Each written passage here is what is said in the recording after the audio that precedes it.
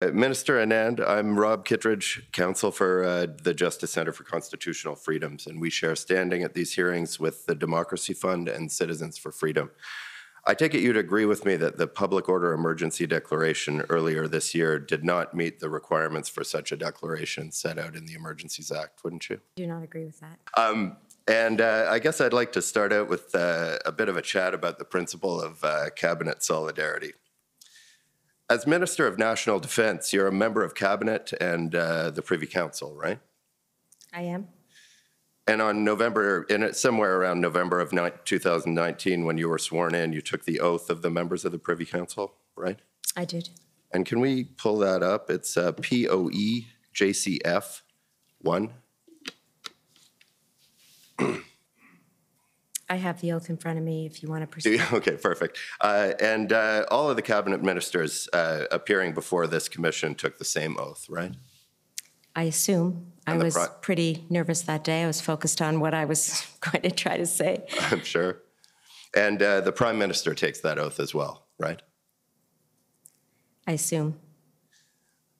You swore to speak your mind and express your opinions on issues before cabinet freely and fully in private meetings, debates, and conversations with your cabinet colleagues, right?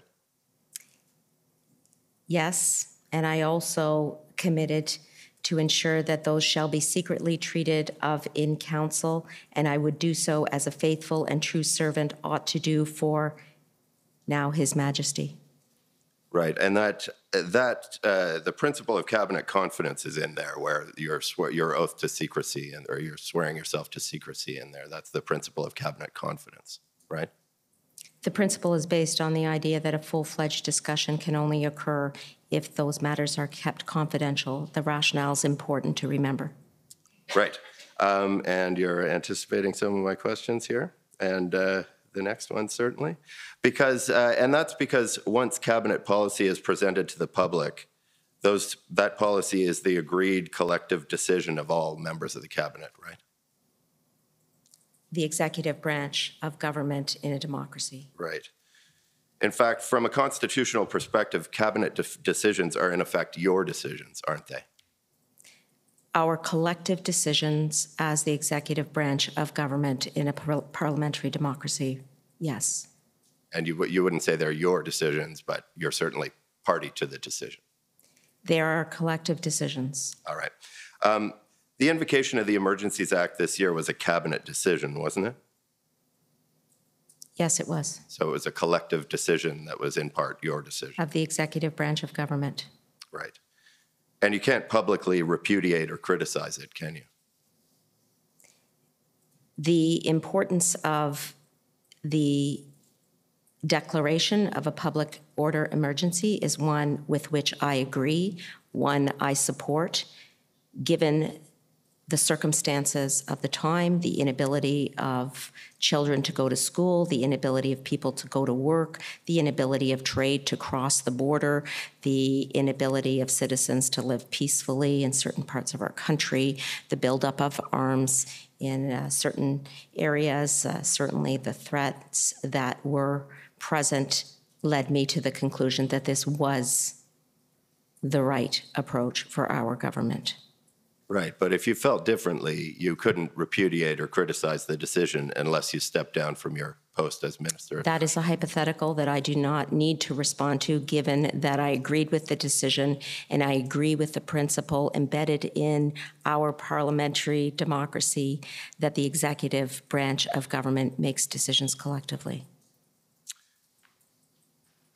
The government has waived certain aspects of cabinet confidence with regard to these proceedings. For example, as you know, some records have been produced that could have been withheld on cabinet confidence grounds. This has been a partial selective waiver, and cabinet confidence has been used to keep some evidence from being put before the commission. But there hasn't been any waiver of cabinet solidarity, has there? I believe that we are all committed to our oath, and we will make decisions, as I said, on a collective basis. Uh, We've done that to date, and we will continue to do that. That is foundational to the way in which decisions are made in this country as part of our parliamentary democracy. I asked you at the outset whether you agreed that the public order emergency declaration earlier this year did not meet the requirements for such a declaration as set out in the Emergencies Act, and you disagreed. If you had agreed with me, you would have to resign your cabinet post, wouldn't you? I, again, it's a hypothetical. I am not going to respond to it. I will say the definition of public order emergency being an emergency that arises from threats to the security of Canada and that is so serious as to be a national emergency was one that I strongly believed was met, and I am quoting from the Act itself. Do you understand the principle of cabinet solidarity? I understand the oath that I took, and I understand the principles on which our parliamentary democracy are based. Right. And one of those principles is that the executive branch of government makes decisions collectively. Right, and that if you disagree or repudiate those decisions, you have to resign your position as a cabinet minister, right? I am not aware of that principle, and I, I think that it is not relevant at this time. I- I'm, so you're saying that you don't understand uh, that cabinet ministers cannot uh, repudiate the decisions of cabinet without resigning their post as cabinet minister? I'm saying that I understand the way in which parliamentary democracy works and the executive and legislative branches of government and their respective functions. And in this case, in all cases in which I've been involved, that decision-making process is functioning robustly. I can respect the uh, the response, I guess. But uh, you, uh, so are you saying that you are free to criticize and repudiate the decisions of cabinet without resigning your post? I will continue to reiterate the point that at all times, we are able to have a full and robust discussion to satisfy ourselves that decisions that we are making are in the best interests of our country, as was the case in the public order emergency. At all times in private cabinet meetings, you're free to express yourself. But in public, if you repudiate or uh, disagree with the decisions of cabinet, you're not allowed to to say that publicly, are you? Again, I don't find this line of questioning relevant to the case at hand. I fully support the public order emergency, and the situation that was gripping our country was dire, and it was extremely important for our government to take steps after three weeks of uh, protests where existing law enforcement had not been able to effectively respond to them. Right. Well, I find it relevant, and I see no objections from my friends. Well, I think you've got, I think you've got your answer, and All right. I think you've gone about as far as you can on this. Fair enough. Ed, And we were getting dangerously close.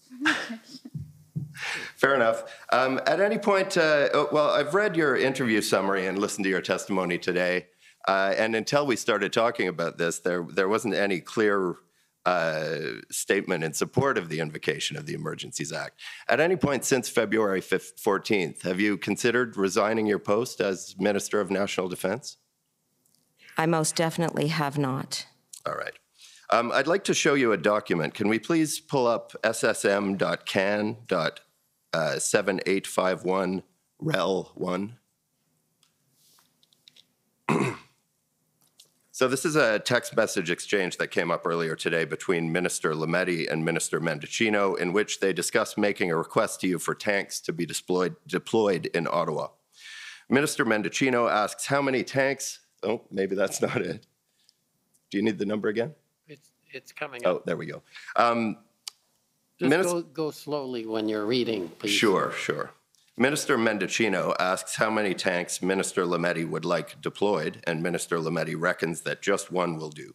Do you agree with Minister Lametti that one tank would have been sufficient to deal with the Canadians who had gathered in Ottawa to express their grievances about government policy? Two points. First, I believe Minister Lametti has mentioned that that was made in jest. Second, I have already provided my comments relating to the fact that the Canadian Armed Forces is the force of last resort. Therefore, we were not considering deploying tanks in any number. Could we scroll up to the top of this? So, can you read the date at the top of this message exchange?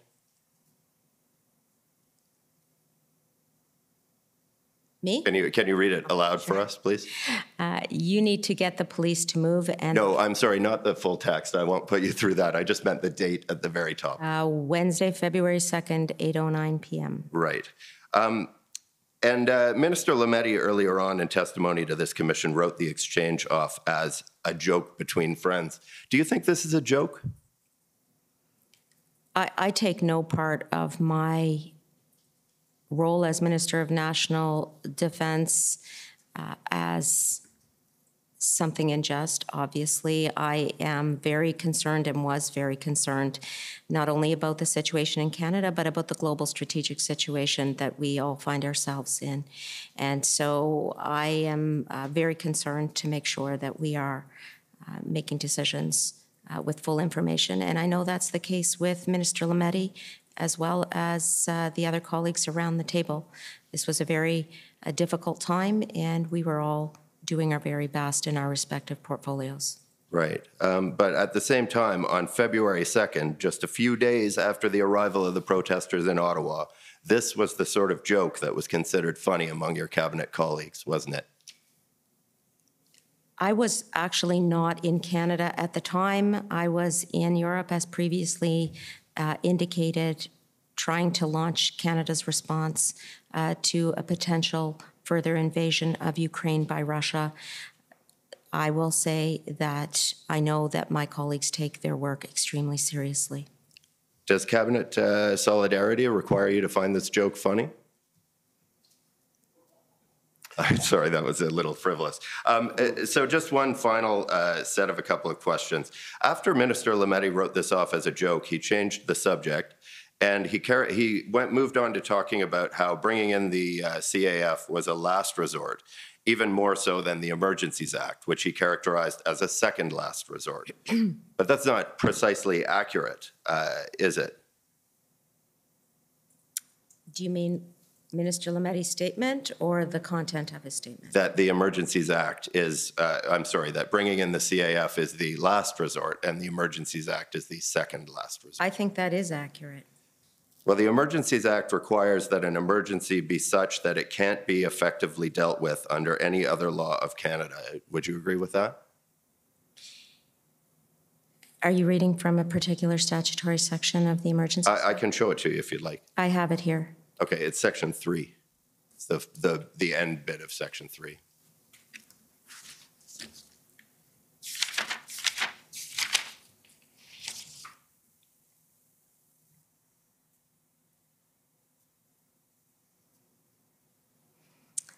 So the statute is a legal instrument, and the reference here is any other law of Canada. Yeah, all right, thank you. The National Defense Act is a law of Canada, wouldn't you agree? Those are my Section- questions. Section 273 points to any other method of addressing law enforcement other than with the assistance of the CAF. So one deals with a statutory instrument and instruments that are available to address a particular situation, and the other deals with instances in which the CAF can be deployed. Nonetheless, the Emergencies Act, as a precondition, requires that a matter can't be dealt with under any other law of Canada. And I'm asking you, the National Defense Act is a law of Canada, isn't it? The National Defense Act is a statute with a section that specifies that the Canadian Armed Forces will only be deployed if there is no other means of addressing a particular situation from a law enforcement perspective. And that, Those two items are different.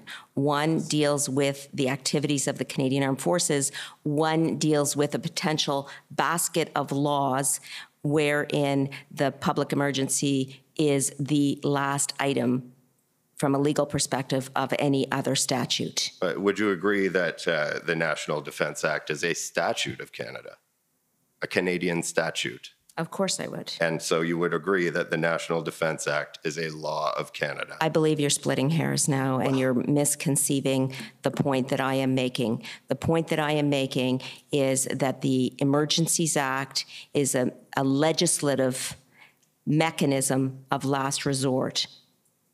Yes. The National Defense. Act in Section 273 simply says that the Canadian Armed Forces cannot supersede other law enforcement mechanisms Right. unless So- there is no other option for law enforcement. Just as one final question to kind of clarify my understanding of your testimony here, are you telling me that the National Defense Act is not a law of Canada? I believe I've already answered that question. right, thank you very much. Have a great day.